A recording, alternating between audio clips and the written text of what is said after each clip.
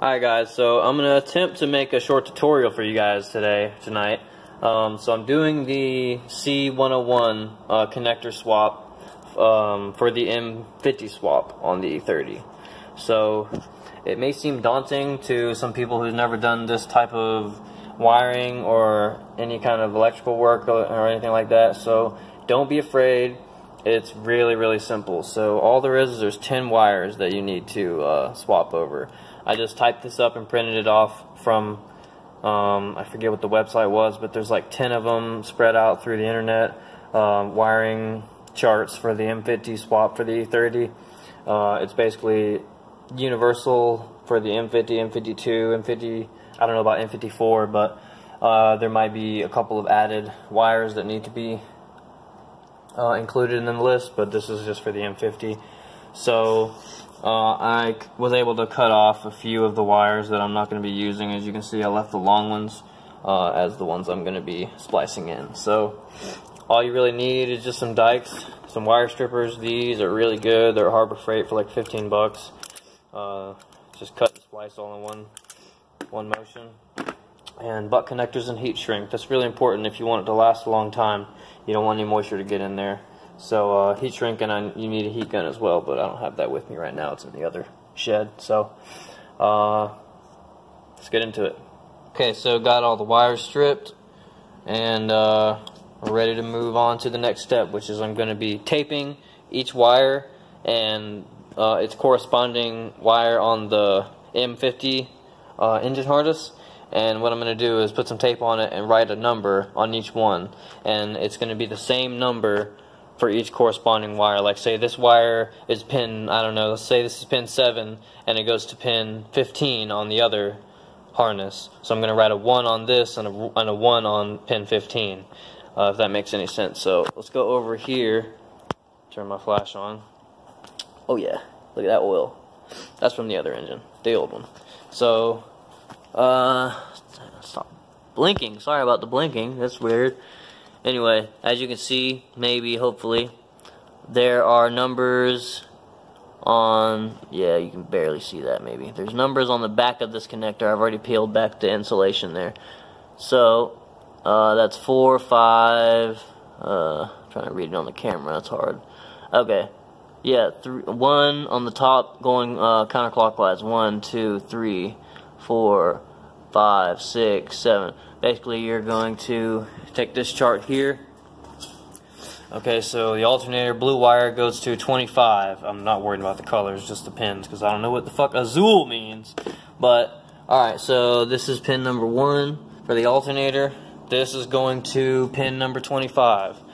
So what I'm going to do is locate pin number 25, which is probably in the middle. You can't really see it. And, uh,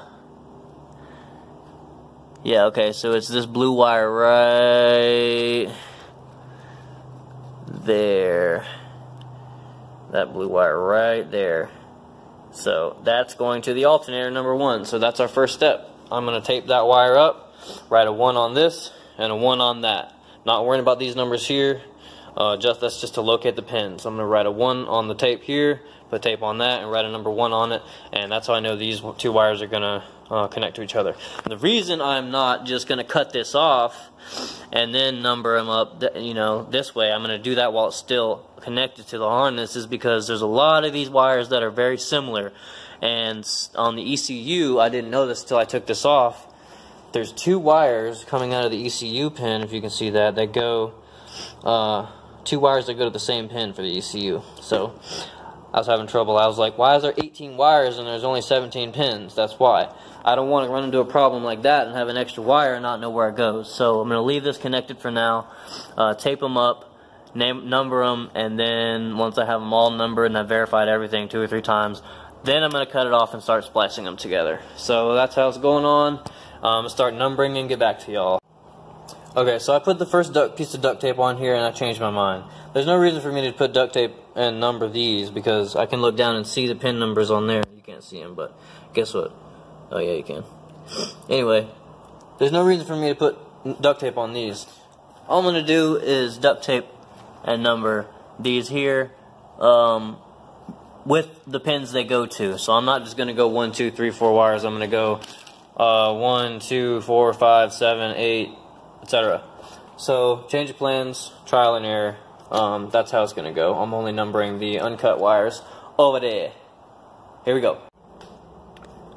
Okay, so the other connector is fully cut off. Never using that again. And I'm finished with my list here. Uh, I'm only using eight of these actually. I'm not using the uh, service interval number 11 or the econ econometer. I guess that's how you say it. Anyway, so here's what we got. We got eight wires here. These are the wires I'm not using. It's kind of unsettling how many are not being used, but honestly, I know that's what I need, so yeah, that's where we're at right now. I'm gonna go ahead and uh, splice those or strip those and then splice these into it and then uh, that's gonna be it. Alright, so this is what we got now. Got all of my butt connectors on. Um, I always forget to do this. Uh, put the heat or the uh, shrink wrap on before the butt connectors and before I connect them together. Um, but yeah, everything's all good. I got eight wires. So there's these two wires from pin number seven. I don't know if I explained this before, but uh, is for the ECU pin, and the small wire uh, is for the coil, the ignition coil. So the ignition coil gets power when the ECU turns on, which is when you turn the key on without starting it. So uh, those go together in the same split or in the same connector. So basically, it's just going to tie together into one wire on the other side. Um, it is just one wire on the um, on this connector here. Getting ready to put it on these bad boys here. So, like I said, there's there's a whole bunch of wires here. I put some heat shrink wrap or some heat shrink on it and uh, taped it up a little bit. And I got my eight wires here that are gonna go right here. So I'm gonna go ahead and knock that out and get back to y'all show you the finished product. Alright guys, here's what we got. Finished product, pretty much. There's a little paint on there, but that's all good. So we got, I think, eight uh, wires crimped out. Here's the ones that I did not use. Couple more in there. I don't want to pull on them if I don't know exactly what they are. But yeah, that's all the wires I didn't use from the uh, on the harness. What I'm trying to do now is pull this uh, boot back over on these. But actually, before I do that, I'm gonna.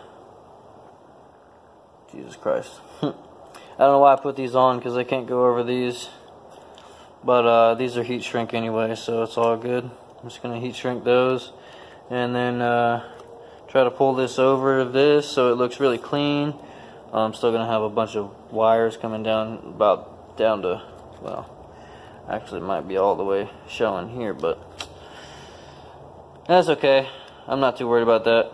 Uh, it's done and it should run. I did everything, double checked everything, triple checked all my connections, and and I did the butts. They're all tight. I tugged on them on both sides, and they're all tight. They're all good. So I'm gonna heat shrink these, and uh, I think I'm gonna call it a night. So if you guys like the video, give it a thumbs up. If you want to keep uh, seeing more of this M50 swap, subscribe, click the bell, and there's to be a lot more videos to come. As you can see, this engine bay is uh, very empty, and there's an engine that needs to go in it. So, I'll see you guys in the next video. You guys have a good one.